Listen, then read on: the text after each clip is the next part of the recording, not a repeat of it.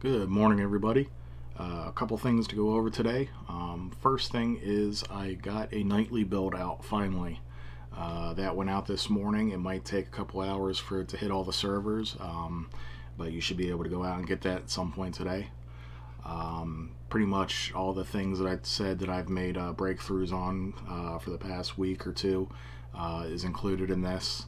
Um, every I came across some more bugs and all that stuff started coming together this morning so this is the first time um, I was able to actually get it to completely work and the settings to save and for the settings to still uh, persist the next time input mapper was launched. Uh, so that just came together this morning so there might still be some bugs because I haven't had a chance to fully test everything uh, but it looks like it's close enough where you guys can help me uh, with doing some of your own testing so I'm going to go ahead and switch over here. And for the most part, um, things are the same. You are going to see a new tab in the settings here, global events. Uh, you can add events to input mapper itself when it starts, when it loads, when it shuts down. Um, I'll also be adding uh, device arrival events, device removed events, uh, all kinds of stuff like that. So um, this new setting uh, allows me to pretty much just uh, pepper it anywhere in the application where I feel it could be useful. Uh, so I'll start adding, you know, this stuff in as I think of applications for it.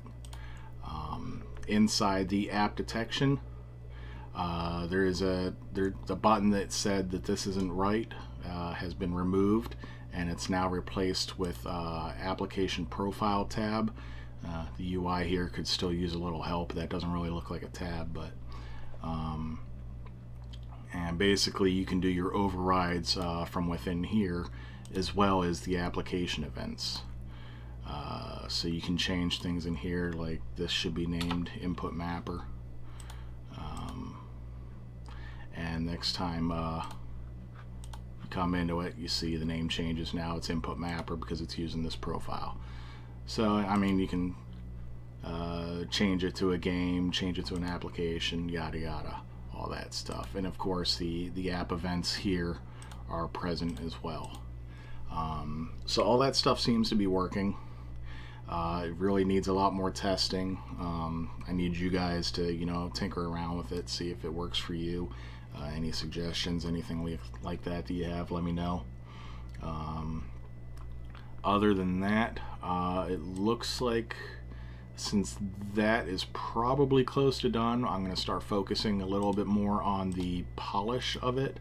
Um, this UI here is not as clean as I would like. Um, actually, I don't even need this detection tab anymore since that kind of gets covered in the, the profile detection conditions tab here. So, um, alright guys, that's about it. Y'all have a good one.